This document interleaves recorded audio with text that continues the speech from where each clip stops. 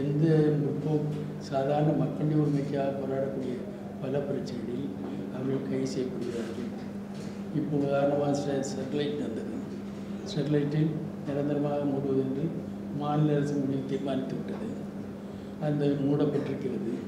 ஆனால் அரசு ஒத்துக்கொண்டபடி அரசன் அறிவித்தபடி இன்றைக்கு அந்த போராட்டம் கோரிக்கையாக அதுதான். இன்னும் நிரந்தரமாக மூட வேண்டும். அது அரசியல் ரீதியாக அதற்கு முழுவதற்கான காரணங்கள் என்ன என்று அரசு மற்றும் மாநில அரசு தீர்மானித்து கொண்டு வர வேண்டும் என்று தான் நாங்கள் வலியுறுத்துகிறோம். ஆனால் அதே நேரத்தில் அது அமைதியாக முடிவதற்கு மாறாக அதில் திரும்பவும் அமைதியான போராட்டம் நடந்தது. துப்பாக்கிச் சூட்டை நடத்தியவர்கள் சட்டத்துக்கு மாறாக ஆயுதங்களை சுட வேண்டும் என்று தீர்மானித்து சுட சுட்டார்கள். பதிமூணு பேர் கொல்லப்பட்டார்கள். ரெண்டு பெண்கள் மற்றவர்கள் யாரும் ஆயுதம் வைக்கவில்லை எந்த அன்பாக நடக்கவில்லை. ஆனால் பதிமூணு பேர் கொல்லப்பட்டார்கள் நூற்றுக்கு மேற்பட்டவர்கள் காயப்பட்டார்கள். இந்த நடவடிக்கையெல்லாம் நடவடிக்கை எல்லாம் கொடுமையான நடவடிக்கை இருந்தது. இப்போ எல்லாம் அரசு ஒத்துக்கொண்டு நிரந்தரமாக மூட வேண்டும் மூடுது என்று அறிவித்த பிறகும் நானூற்றி முப்பத்தி ரெண்டு பேர் பேரால் வழக்கு தொடுக்கப்பட்டிருக்கிறது. அதே நேரத்தில் வழக்கறிஞராக இருந்த வாஞ்சிநாதன் பேருக்கு அந்த வழக்கு அவருக்கும் அவர்களும் வழக்கு போடப்படுகிறது அவை இது ஒரு ஜனநாயகத்துக்கு விரோதமானது மெரினா பீச்சில் நடந்த போராட்டம் முடிவுக்கு வந்து கூட மெரினா பீச்சில் கலந்தவர்கள் மீது அமைதியாக கலந்தவர்களே போராட்டம் நடத்தினார். அவர்களுக்கு சட்டத்தை போட்டு அவர்கள் கை வழக்கில் போடப்பட்டது.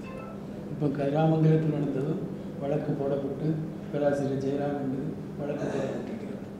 இப்போ பசுமை பா பாதை என்ற எட்டு வழிச்சாலை என்பதுக்கும் அதுக்கும் ஒரு பெண் மீது கூட வழக்கு வேறு வேறு வகையான குற்றச்சாட்டுகளை கொண்டு வந்திருக்கிறார்கள். அவை எல்லாமே வழக்கு. ஆர்ப்பாட்டம் நடத்தினால் கைது என்று சொல்வார்கள் விடுதலை செய்வார்கள். விடுதலை செய்யப்பட்டால் நினைத்து கொண்டிருப்போம். வேண்டும் என்று கடைசியில் அவர்கள் மீது வேல்முருகனோ சீமானோ மற்றவர்களோ இவர்கள் மீதும் வழக்கு போடப்பட்டிருக்கிறது. ஆக வழக்கு போட்டு இதை எதிர்த்து போராடிய ஜனநாயக உரிமையை பற்றி கவலைப்படாமல் எப்படியாவது பணிய வைக்க வேண்டும் என்று வழக்குகளை போட்டு மக்களுக்கு எழுச்சியை தடுக்க வேண்டும் என்று தீர்மானம் கொள்வ நடவடிக்கை அரசு இருக்கிறது இது மாநில அரசும் மத்திய அரசும் சேர்ந்து செய்கிறது. எஸ் வி சேகர் போன்றவர்களுக்கு இந்த கோர்ட்டு தீர்ப்பளித்தாலும் கூட அவர் சுதந்திரமாக இருந்தார் ஆனால் மற்றவர்கள் ஆர்ப்பாட்டம் நடத்தி அமைதியாக போனவர்கள் மீது கூட வழக்கு போடப்படுகிறது.